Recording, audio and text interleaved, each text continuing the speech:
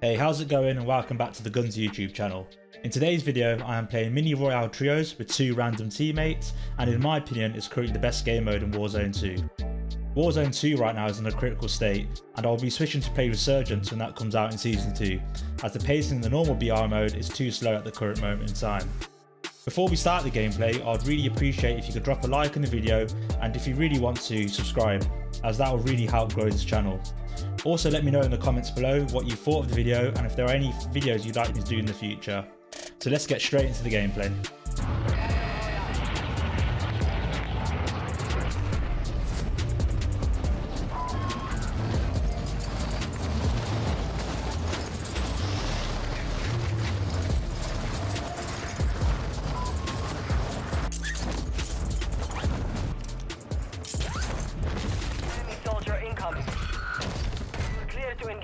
Targets. So as I'm landing in, I hear the announcer here, enemy person incoming. So I'm just assuming there's another team around me and I hear footsteps. Right now I'm just desperately looking for, looking for a gun so I can engage this team. I can't find a decent gun or I've got a shotgun.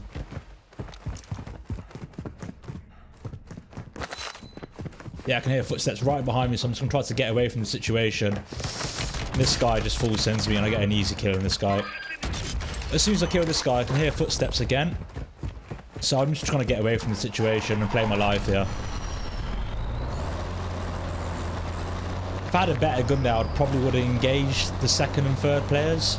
But as I had a shotgun and a pistol, it weren't the best.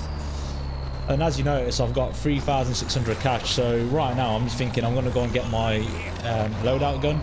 And then come back to this building and re-engage that team. Luckily, my team wiped that team anyway. So I'm going to get my gun and then try to play from uh, within Al Mazrah City.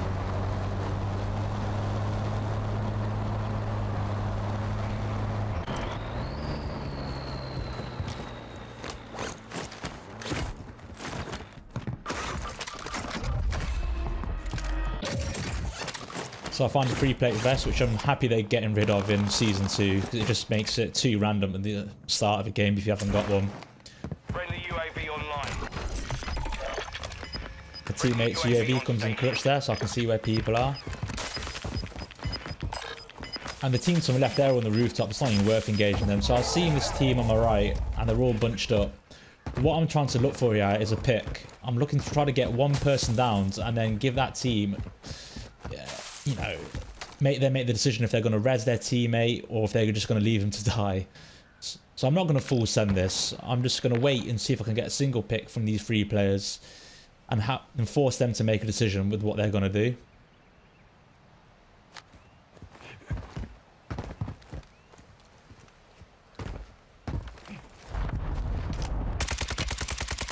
Get lucky here. There's just a random team just floating off the rooftop. Outside the safe zone.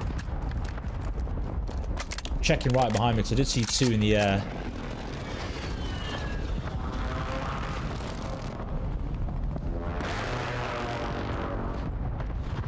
See, I can't go for my full on that person because I've seen that guy run across and I'm assuming he might be looking through the windows. So I'm just playing the head glitch here to see what I can do.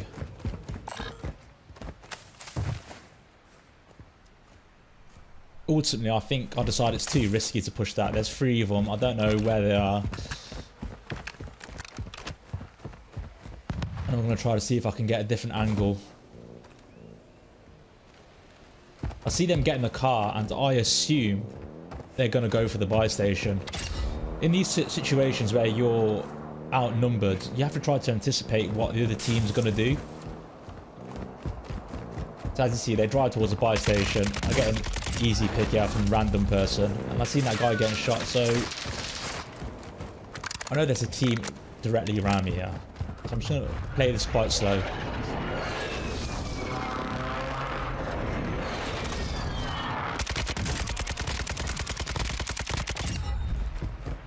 So you'll see, as soon as I kill that guy, I assume there's a whole team of three, and I'm getting away from that situation because he's going to be calling out to his teammates, oh, I've just been shot from that angle, and they're going to be checking that angle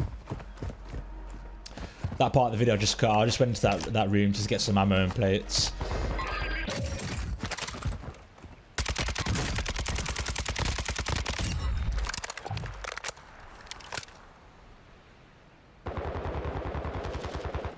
Get an easy third party here. It's two teams fighting. his teammate tried to jump down, he broke his legs. So I should have probably waited until that guy reds to get another kill there. Got a bit greedy.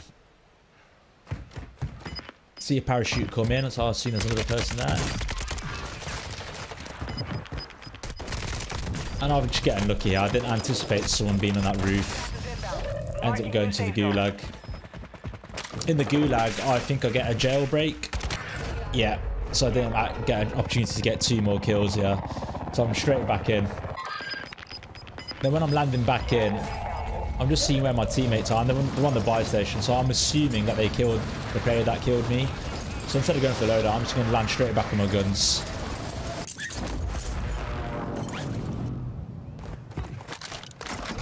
Made it to the safe zone. Just cut into the second part of the gameplay where not much happened there. And now we're just playing the edge of zone. I'm trying to kill people, rotating him.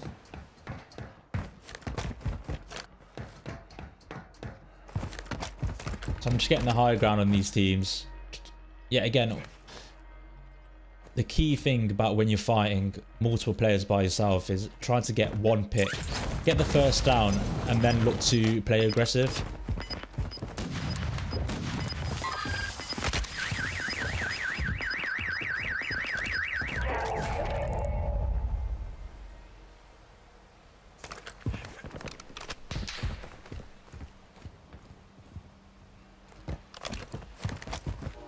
Right now, I'm just trying to hear out for footsteps, just understand where this guy might have gone. Activity in this area. I can hear him in my building, but I don't want to jump down and give this um, high ground up.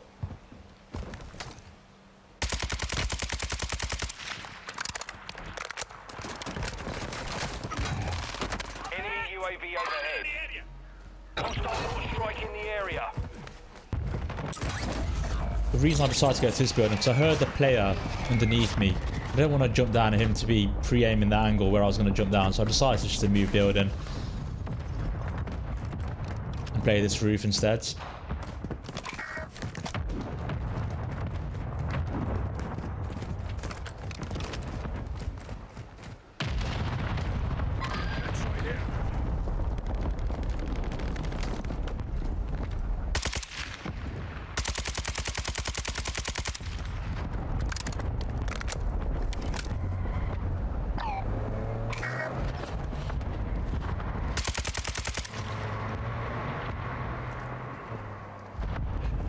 I think my teammate drove the car to go and buy the teammate back, but I'm to hold all these players coming out of circle. Just get loads of easy kills here.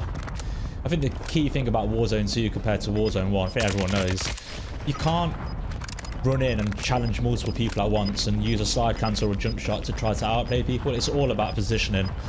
But, you know, I think some players find boring. I mean, I do find it. Sometimes it just slows the pace down a lot. But it's about putting yourself in positions where you know where people are going to be to try to get maximize the engagements in the game. And that's why I'm hoping they revert the um, amount of UAVs you can buy at a buy station. Because sometimes you go to a buy station, you're on a good pace game, and you can't, and the UAV is not available. So it stops you from being able to play positions because you don't know where people are on the map. You can have a good guess. But the map's so big, it sometimes it's impossible to guess where people are going to be.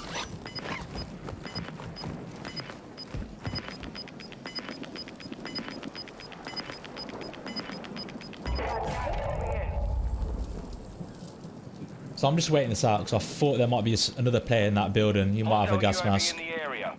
Advise you move to the safe zone. now. So before I move, I always ping a location in the circle where I can use as a head glitch. I mean, this is not the best part of the circle to be on. The other team who've got the high ground that roof have, have the better side of the circle. So when you're in the worst position of the team, you just got to play your life and just try to play head glitches.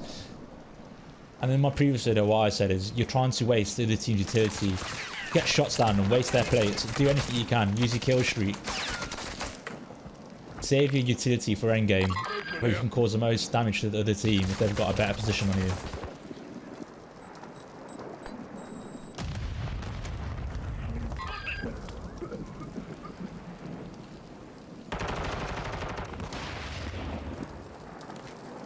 There's not much I can do here, so I'm just lying down. I'm going to wait until the, I can make a move to the car in front of me as my next head glitch.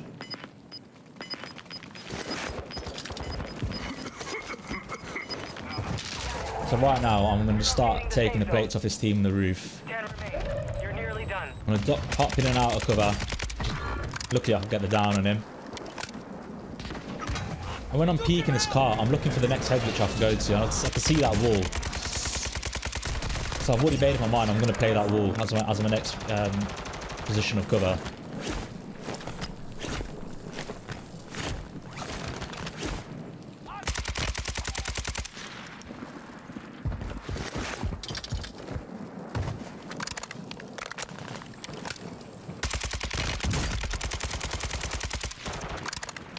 I make a mistake here. I'll get really greedy and I get we both get in each other's way. This random teammate. I did not hear this guy at all. There needs to be some sort of sound cue on people crouch walking. Even if it's the, the smallest of sounds. But right now it's completely silent. So here I'll get a bit greedy. We both get in each other's way there.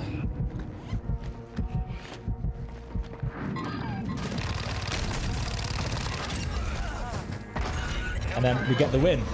The win. So I hope you enjoyed today's video. Um, yeah, it got a little bit chaotic there in um, the end game. But um, I think I finished with 12 kills, and I think I will show up in the scoreboard in just a second. But let me know in the comments below what you thought of the gameplay. Um, let me know any parts of the gameplay where you thought I could have done better, maximise my kills. And also let me know in the comments any future videos you want me to do. So yeah, thank you for watching, and I'll see you on the next one.